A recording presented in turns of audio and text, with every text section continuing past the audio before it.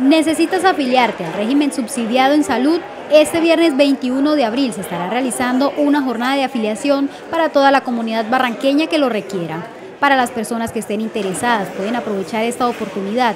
Se debe presentar documento de identidad como registro civil, tarjeta de identidad, cédula de ciudadanía o permiso temporal de la persona que requiera el servicio, la jornada se estará realizando en el Centro de Convivencia Ciudadana ubicado en el barrio Primero de Mayo y podrán asistir desde las 7.30 de la mañana hasta las 12 del mediodía.